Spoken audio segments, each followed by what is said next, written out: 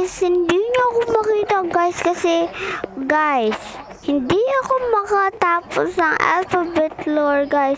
Very soon, tatapusin ko yun guys. Sorry na po tol.